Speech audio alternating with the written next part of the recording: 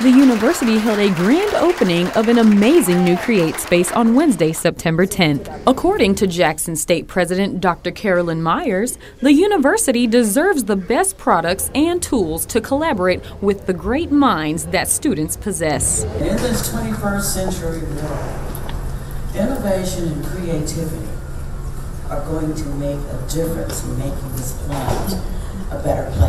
Here, students are given the opportunity to express their creativity in ways undiscovered. We have 3D printers where you can print out the heart.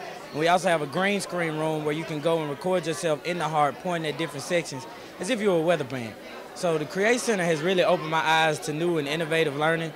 I'm a senior here at Jackson State, but I might go to grad school here now because this is, I've, I've never seen anything like this. This new, exciting, and stimulating environment opens doors to new ideas. It really gives students another option to express, express their creativity. It gives them a venue to work together, to create their own content, to extend their learning. And so we're really excited about creating this kind of forward-looking space for our students right here at Jackson State University. This innovative space is a breath of fresh air to the university.